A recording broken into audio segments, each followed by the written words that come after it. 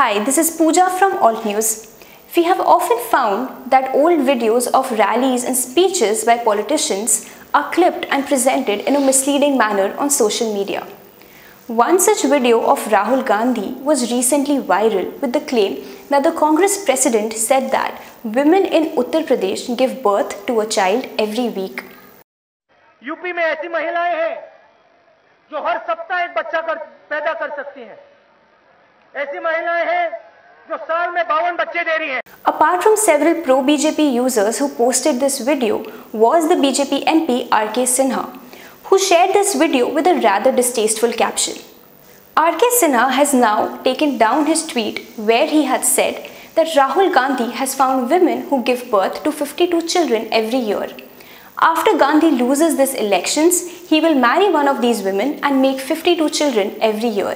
So what is the truth? Did Rahul Gandhi really make these statements? The short answer is a big no.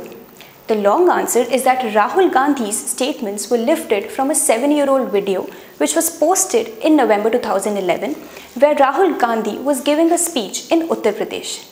Gandhi was actually talking about corruption in the Janani Suraksha Yojana under the National Rural Health Mission.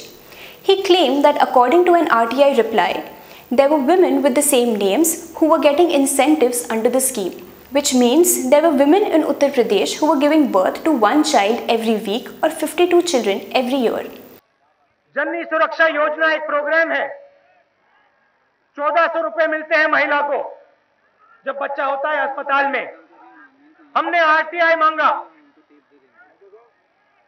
RTI में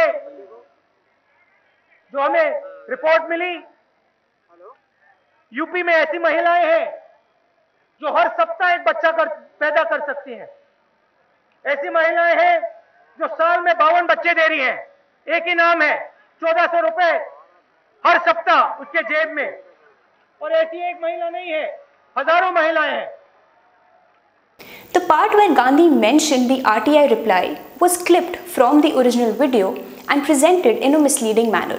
So Gandhi did not actually claim that women in Uttar Pradesh give birth to one child every week, but he was in fact talking about corruption seven years ago. In the past as well, another one of Gandhi's videos, the famous Alu Sona machine remark, was clipped and presented in a misleading manner. In fact, even the Prime Minister has been targeted on social media in a similar fashion.